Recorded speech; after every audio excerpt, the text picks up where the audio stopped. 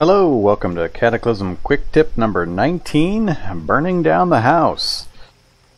So here's an important survival tip tool you can use in uh, your Cataclysm wandering. So let's say, for example, you need to get into this pizza parlor desperately for whatever reason, and there's just too many zombies in the area, you're too worried about going into the place during the daytime. Um, here's a tip you can use to try to make a distraction. So you can set fire to buildings in the game. You may have done so either purposely or accidentally in the past, but uh, a few things you can do with burning buildings to your benefit. One is to make a huge distraction. It makes a lot of noise and a lot of light, which is going to naturally draw any nearby zombies towards the fire, and a lot of them will just wander right into the fire and burn themselves up.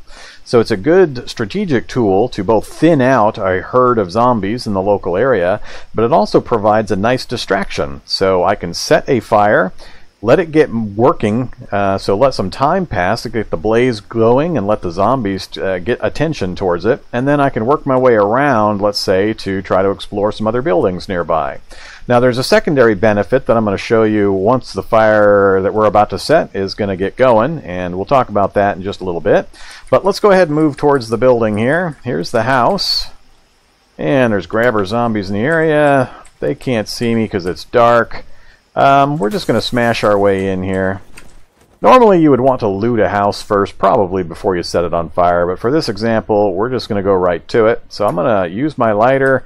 We're going to set the bed on fire. We're going to set the counter on fire. Yep, that's a closet. We're going to try to get out of here before we burn ourselves to death. That's the bathroom. Okay, let's also set the dining room table on fire. Does take time for the fire to kind of take effect, so I usually try to set it in a number of different locations. We'll go ahead and do this one as well. Alright, I think that should be good. So let's go ahead and head outside, work our way. Yeah, I was going to work my way around those zombies, but let's go back out this direction. Hello, zombie taking me apart. Bad zombie, leave me alone. Alright, we're going to break contact with him. It's dark, so it's pretty easy to lose him. And we're just going to kind of hang out in the area of the building, but not close enough to be affected directly. So, what we're looking for, or anticipating, is that the zombies are going to start actually moving towards the building. We can see one right there. Um, but we need to give some time, and it's raining, so that's going to actually cause a bit of a problem. I'm going to turn the rain off, just so that doesn't uh, affect things. Uh, that's not what I wanted. There's change weather, right there. Let's um, just go to clear. Alright, so I want a good view of the fire and make sure it keeps working the way I intend. So I'm just going to let some time pass. Ignore the sounds. Fire starting to catch. You can see the building starting to go up. We're going to let some more time pass. Alright, now we got a real fire going. And you can see the light is creeping out. We're still in the dark. Actually, no, we're cloudy, so we got to be a little careful. Alright, now the fire is kind of going really good clip. Zombies are coming towards it, and they're burning to death. Some of them. There he goes. Come on, jump in there. Ooh. How are you checking me? There's quite a few zombies. Unfortunately, we can't see around the whole building during the uh, the nighttime here. But uh, the fire's caught. It's making a huge amount of noise, generating light, but it's freeing us up to travel around. And we could go check out other nearby buildings while that light is or the uh, fire is going on. Much, much less chance that we're going to encounter any zombies out this way while we've got that happening. So it makes a great distraction. Wasn't expecting explosions. The fire might have spread to some nearby uh, vehicles and caught them on fire. You can see that zombies right up here. Let's see what they do. I'm not sure how that one kid there is, keeps getting uh, notice on us, but uh, we're going to move out of the way here. The other zombies aren't really tracking me necessarily. Well, that skeleton is now, but the rest of them are heading towards the noises. So that's one of the benefits. Let's go ahead and move back out of here. Break contact with the zombies again. Alright, we're changing directions just so we make sure we're out of their area.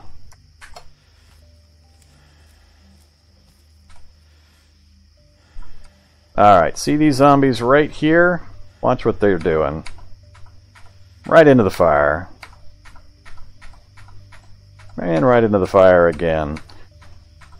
And now this group is heading that direction. So, if I had already looted that house, there's no reason not to just set it on fire. And all those zombies are just diving right into the fire. That's awesome for us.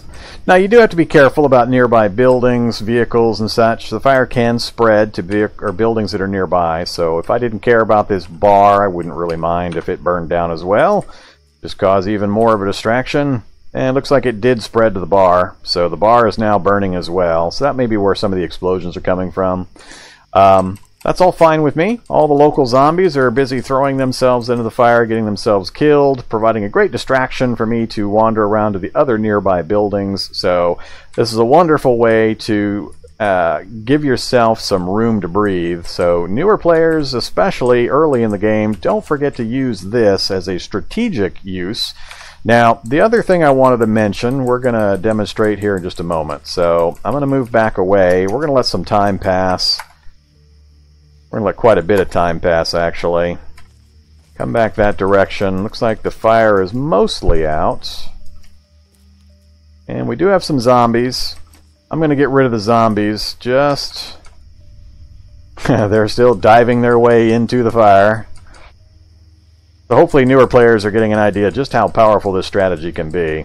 I don't know how many zombies we just killed in this little town area just by setting these buildings on fire, but all the zombies from two or three map spaces away have probably dived into that fire now, freeing us up to grab resources and loot from all the other buildings nearby. And all it cost was a couple of uh, uses of our lighter or matches. Alright, here's the other thing I want to mention. Now that the fire's gone out in a number of spaces here, Take a look at what's on the ground. So we've got nails, nails, nails. The whole outer edge of this thing is just full of nails. This is the other thing I wanted to mention. This is a great way of getting two important resources for building.